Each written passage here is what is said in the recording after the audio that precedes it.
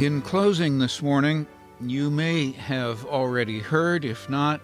we share with you now that the Church of the Cross Task Force, meeting Wednesday, January 13th, set as a goal the reopening of our sanctuary for in person worship as of Sunday, January 24th. That is next Sunday. Our suspension of in person worship at Church of the Cross after November 22nd was based on our anticipation that the risk of infection from gatherings of any size would increase dramatically through the Thanksgiving, Christmas, and New Year's holiday time.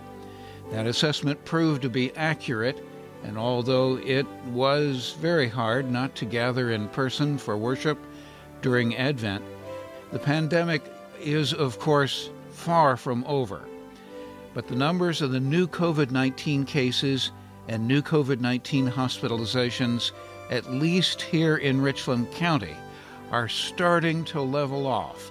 just enough that we feel we can once again worship in person as of Sunday, January 24th.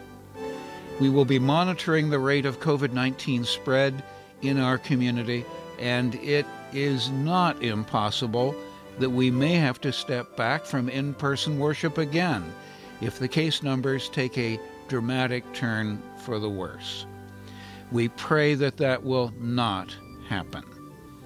For those of us who join together in person for Sunday morning worship as of January 24th, next Sunday, we will return to the protocols which served us well in 2020, with everyone wearing masks and everyone being socially distanced for those still not ready or not able to attend in person at this time,